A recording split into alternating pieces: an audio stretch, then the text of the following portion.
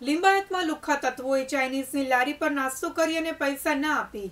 ઉપરથી કારીગરો સામે મારામારી કરી અને માલિકને ચપ્પુના ઘા ઝીકી તોડફોડ કરી હતી. આ અંગે લિંબાયત પોલીસે ચાર લુખ્ખા તત્વો સામે ગુનો નોંધ્યો છે. હાલ ચાઇનીઝની લારીના માલિકની ખાનગી હોસ્પિટલમાં સારવાર ચાલી રહી છે.